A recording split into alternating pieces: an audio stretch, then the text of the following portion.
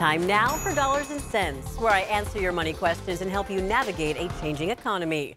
Governor Newsom signed a bill that will require California high schoolers to take a financial literacy course to graduate. The semester long course will be offered by the 2027 28 school year and make it a requirement by 2029 2030.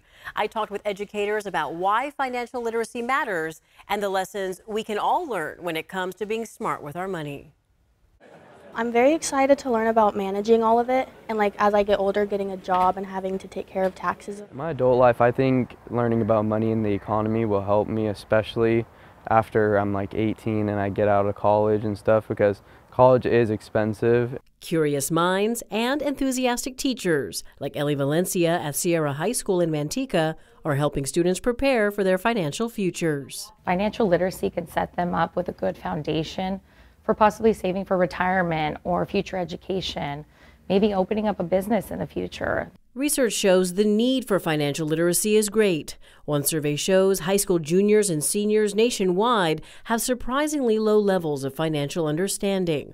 27% reported being ready to estimate what their monthly payments might be after college. 47% of students say they understand how to read a paycheck and what determines net pay. 32% felt they could read and understand loan offers and repayment information they received. Learning a, a financial literacy is a lot of times like learning a new language. UC Davis economics professor Derek Stimel recommends starting small, knowing some basic financial terms like credit, interest, and budget, and understand what a credit score means and who is a beneficiary. What are some of the healthy habits that teenagers and young adults should be putting into practice? Just a lot of times it's the basic things. It's sort of learning how to kind of have a budget of sort of, you know, say, what, what do I have to spend in a month? Uh, what are my expenses? Uh, am I living within my budget? Also consider your savings and avoid bad debt. A lot of times we think, oh, the stock market or the financial markets in general, these kind of are very, you know, opaque and can kind of be very scary. Um, and so the kind of sooner you expose yourself to them and kind of learn about them, uh, the less scary they become. I want them to understand the value of money, how it can affect them as an adult, and really give them a good foundation to prepare them for that.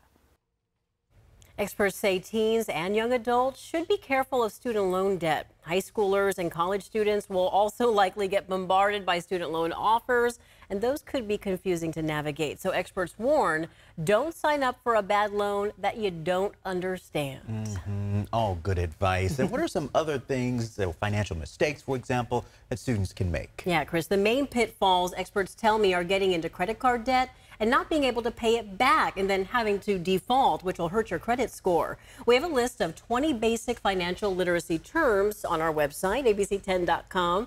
That's where you can also find my other dollars and sense coverage. You can also scan the QR code on your screen or email me your questions at lpainter at abc10.com.